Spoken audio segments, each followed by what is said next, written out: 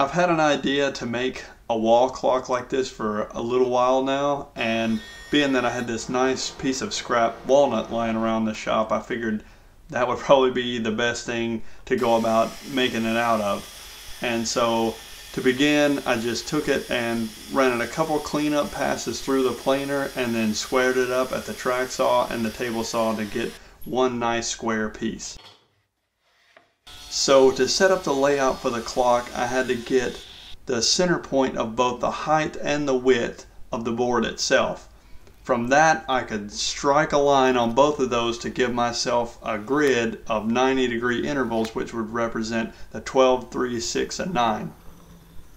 From that point, I set my compass to half of the diameter that I wanted the actual circumference of the clock to be. Once I had that set, I could use the center point in the middle of the board to draw that circle onto the actual board for the clock itself. Once I had the 12, 3, 6, and 9 and the circumference of the clock itself established, I could then set up all the numbers that go in between the main numbers of the clock. And to get those, they're all on 30 degree intervals, so I just use a compass and, re and referenced off of each one of those 90 degree marks to get each one of those numbers that go in between. Once I had made each one of those marks onto the clock, I could then connect each one of them across the face of the clock with a straight edge and that would give me each one of the 12 marks that I would need to start drilling the holes for the clock itself.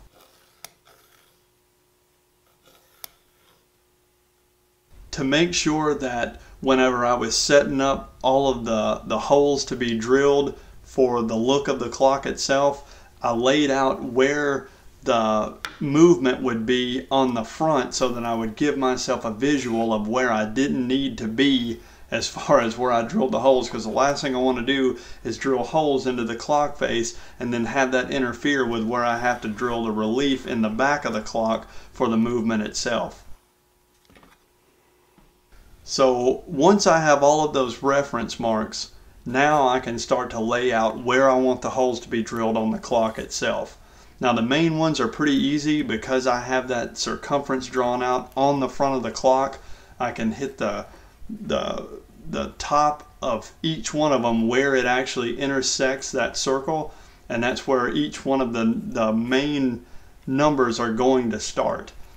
I'm just using a center punch to sort of give myself an indention that I can follow later with the Forstner bit.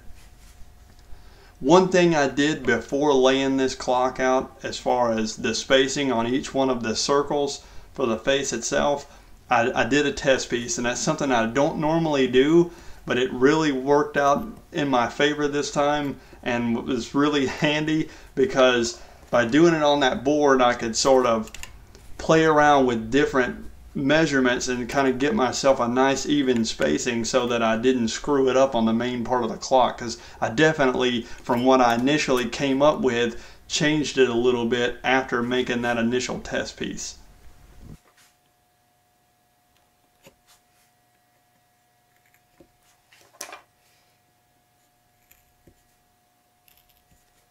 To make things easy as far as being sure to to make sure that each one of the marks are all spaced out exactly where I want them to be.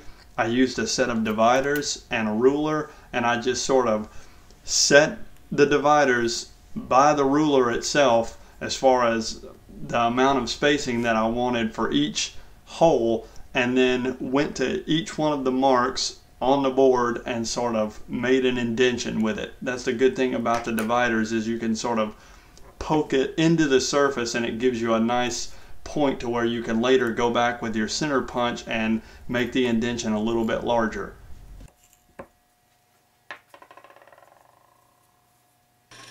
So we're to the point now where we get to drill a lot of holes and this definitely got to be a little bit monotonous after a while because it was a lot of changing out drill bits and drilling a lot of holes especially once it got to the smallest ones but I knew from the beginning, and especially from doing my test piece that I, I did earlier, that I wanted the main numbers on the clock, the 12, 3, 6, and 9, I wanted those to have a different diameter hole and to be more pronounced on the clock face itself than all the numbers that go in between. So this was another thing that I benefited from doing the test piece. I got to sort of see what I had in my head be laid out on onto a board before actually going through and putting it on the finished piece and then not liking it. So it was definitely beneficial to do that.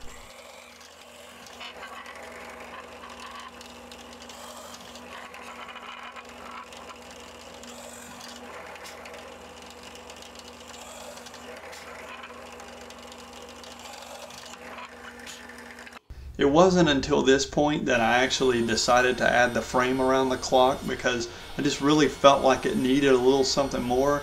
And so I decided to make one of these recessed frames like I had seen many times on John Peters' channel and I thought it would work really good in this application. Here you can see that by using a, a scrap piece of plywood the same thickness of the plywood that I would eventually put on the inside of the frame, I was able to sort of do a test run. And I also did a test run with the band clamp itself so that I could get kind of an idea of how things would go together. And I don't always do tests before gluing up, but in this instance, I found it to be pretty helpful because I was able to sort of get the exact layout that I wanted as far as the edge grain on the front of each one of these pieces of maple.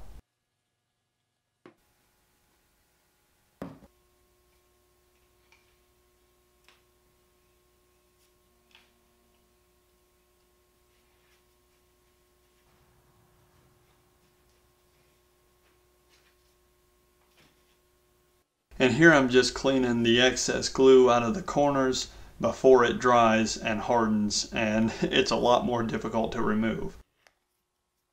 And also checking for squareness. So initially when I was cutting the pieces of maple for the outside edges of the frame, I ripped each one of those widths according to what I would need to give me the proper amount of reveal for the clock face itself in combination with these plywood strips that I'm now adding around the, the inside perimeter on the back of the frame. I sort of glued each one of those pieces in individually, letting them dry in between. And you may also notice in this one last shot here that I added a staple to each corner miter of the maple frame itself, maybe just for a little bit of added insurance. Now to get that nice shadow line around the clock face itself, not only is the frame cut an eighth of an inch bigger all the way around, but it's also painted on the inside with flat black paint. So after waiting for a little over a week for the clock movement itself to come in through the mail, I was finally able to drill the recess into the back of the clock which turned out to be about a quarter of an inch because the clock itself or the, the clock face itself was about three quarters of an inch thick and the movement allowed for a half inch thick face. So by removing that quarter of an inch it worked out pretty nicely.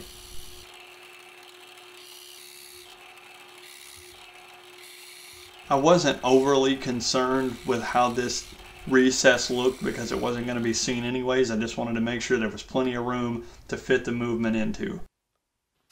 Once all the holes were drilled and everything was set up the way I wanted it, I could finally start sanding. I first started off by hand by flattening the edges of the frame and just getting the initial part of the clock sort of flattened down with some 80 grit and then going through the rest of the grits on my random orbit sander.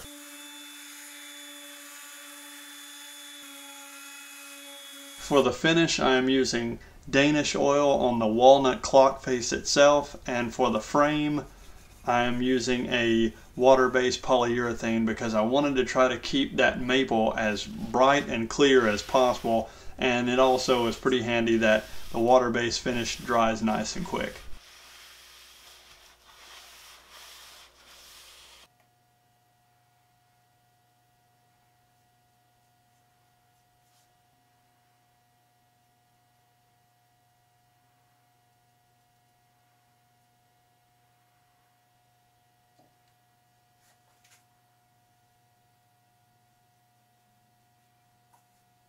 After adding a couple of small dabs of super glue, I centered up the walnut clock face into the frame and then allowed the glue to dry.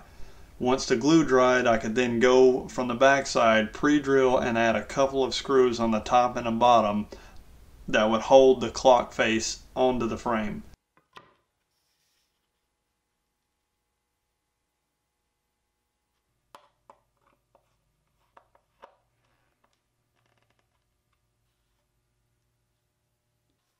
All that's left after that is just attaching the clock movement to the face itself and then installing all the hands and setting the clock.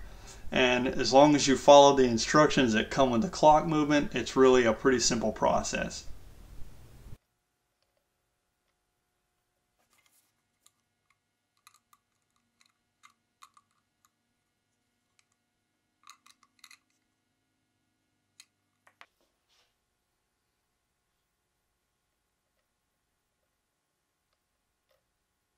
I was really pleased with the outcome of this clock. I think it came out really cool. It's also going to be helpful because we didn't have a clock in our living room and now we do. I don't have to always check my phone to see what time it is. I want to thank you guys so much for all of the support and thank you for all the positive comments every every video that comes out. I really appreciate it. If you haven't already, I would like for you to like, share, comment, and subscribe. I try to post videos as often as I can. Sometimes life gets in the way and you don't get to put as many videos out as you want to. Um, I've also got an article accompanying this video if you want to check that out for a few more details. That's pretty much it for this time. Happy trails. Thanks for watching.